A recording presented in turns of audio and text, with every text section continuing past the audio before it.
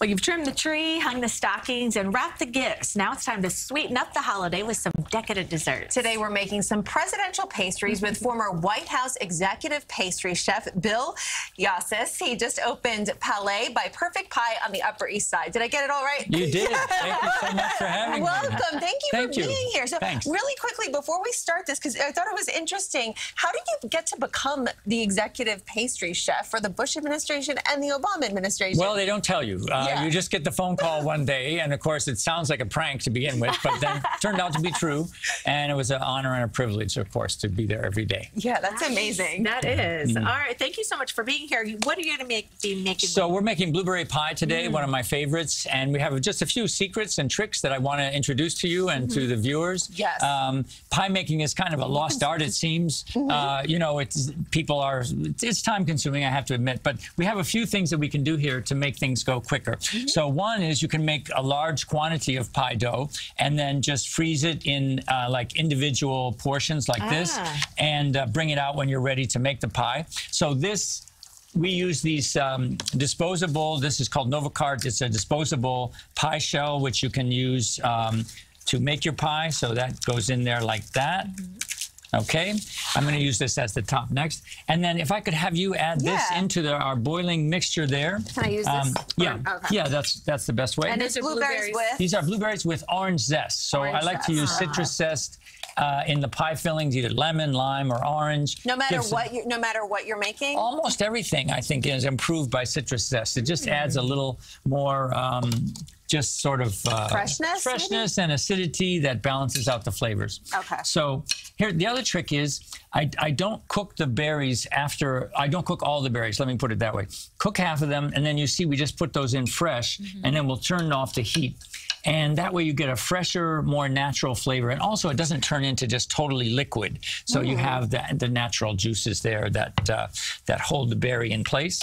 Uh, so then we and this is the reason I say that this can be done more quickly is that you can do this in steps, sort of like assembly line. You can make your shell, freeze it. Mm-hmm. You can even pre-bake that off if you want. Then you have your filling here. Then you put it into the pie like that, and then at that point you sort of use a little egg wash as glue.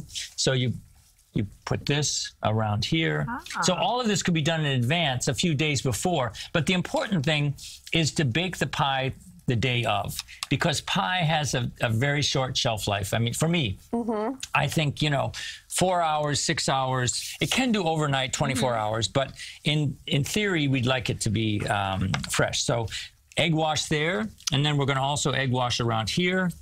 So this, when the egg cooks as part of the pie dough, it holds it together. Mm. But this is why I say you save time because you can make it this far, and then you just put this cover on it.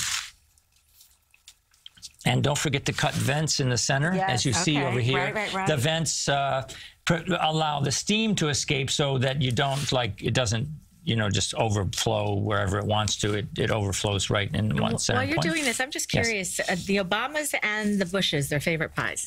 Uh, easy. Um, uh, President uh, George W. Bush loved peach pie. I, I can I can still remember uh, you know, the first day I made that, and uh, so I knew I, I had the job.